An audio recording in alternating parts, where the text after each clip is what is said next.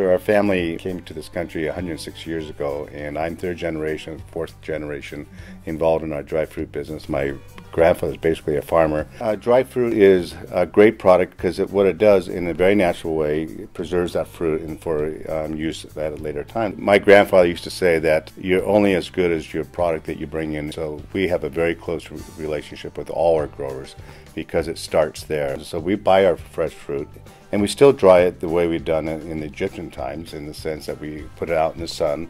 Once we have it in a dried state, uh, we will then bring it to this facility here in Vacaville, California, and we will then rehydrate that fruit. And so it's more ready to eat. So you can just use it as a snacking item. Our nutritional value is excellent. It's an antioxidant, high in vitamin A, good for your bones and for your eyesight, a lot of iron, high fiber. It's great for digestive health. Our dried fruit is really sold in 58 different countries. Oh, you might have heard of uh, Kellogg's two scoops of raisins.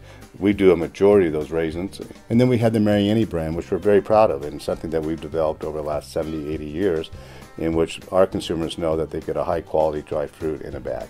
I'm very fortunate to have my children who are here in the as fourth generation, and cousins actually worked with us too, and wants to make our company even better. Probably the last 10 to 15 years, a lot of studies have been made of the food that we eat, potato chips or highly processed, is just not good for you.